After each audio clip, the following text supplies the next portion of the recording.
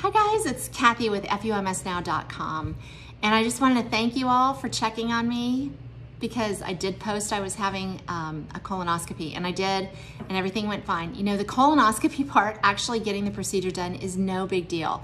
You go in, they knock your ass out, you wake up, it's done. Um, it's the prep that's no bueno. Um, typically, or it used to only be that you would get these big gallons of horrible, salty tasting, did I mention horrible, liquids that you had to consume and quickly, and then the fun would begin um, the night before. Yeah, but that was very vomit producing for me, so I couldn't keep that stuff down. Um, and they now have pills. I mean, they have for a long time, but I tried pills this time. So I want to just tell you about that experience. I won't be too terribly graphic. But um, the week before my colonoscopy, my doctor asked me, which, the, by the way, the type of doctor is a ga gastroenterologist. And he asked me to eat um, highly digestible foods. So no fruits, no veggies, that sort of thing, low fiber diet. I mean, when are you told to eat that? In fact, he gave me the thumbs up on ice cream and I thought I was in heaven. So that's the week before. The day before, it's clear liquids, nothing but clear liquids, um, and like black coffee. It's not fun. Um, Jello, ugh, lots of water. And then, so I was having my procedure. I had to be there at seven. I was having it at 7.30. So at six o'clock the night before, I was to open this bottle that had 12 really large horse pills and I took them. You have, I think, 15 or 20 minutes to take them all with a 16 ounce glass of water. I took them all in like five minutes. I just wanted it done. And then I just drank the water and then you wait an hour, drink another 16 ounces. I think another half an hour or an hour and you drink another 16 ounces. Um, and strap on your seatbelt after that. Actually, for me, it was within minutes of taking those 12 pills that things started to happen. Um, and I was pretty busy for a number of hours till about 10:30 or 11, something like that, and then I was able to turn off my light, go to sleep, relax.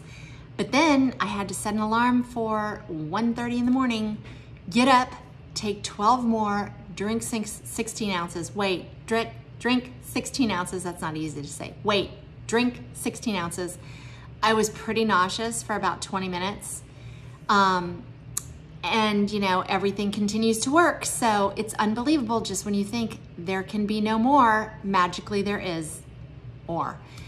Anyway it's a lot of commitment to time and energy.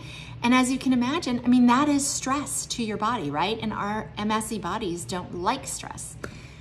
So of course my right side went numb. I was pretty cog foggy. Um, i ended up with quite a bit of pain um, you know, the whole, the, you know, whatever your stuff is, yeah, it'll probably be pretty pronounced. That's how it was for me. Went, had the um, procedure, everything went fine. I came home and I was so tired. I had only gotten about two and a half hours of sleep the night before, so that makes sense. But all of the MS was very pronounced after that. And I spent the day in bed. I just was no good to anyone. Um, now, I, I slept a solid eight hours which last night. I can't remember the last time I've done that, but I did. And I felt great today. I feel great today. Um, but I had posted that I had um, was going in for a colonoscopy here and on several other socials. And people were so kind. Thank you for checking on me. But also, Several people enlightened me on this, and I talked to my doctor about this. And yes, you can do this, and I just want to share because this is how I'm going to do it next time faux show. And I highly suggest you think about it. It is called a colon hydrotherapy or a colonic. So they kind of do the work for you, sort of. So typically, this is a service offered at a spa. There's a spa near me. And um, there is a tube that is actually placed and they run warm water through your colon and extract all that is um, joyfully released um, for you in about an hour. An hour. and then you get to, you know, go on about your day and, and, and anyway, the point is you need to schedule this right before you've scheduled your procedure so you get to sleep the night before and you're not feeling sick and you're not running to the bathroom for hours on end. So much less stress in our bodies, right? Um, so the people that messaged me said they didn't really, their MS didn't really get angry with them. So I just think this is chef's kiss brilliant and I will absolutely do it. My doctor thought it was cost prohibitive.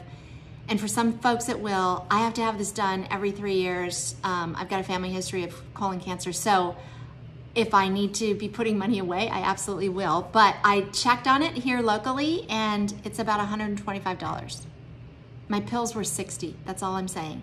Do the math. This would be so much easier and I think a much smarter way to go. So anyway, consider it colonics. Who knew? F-U-M-S.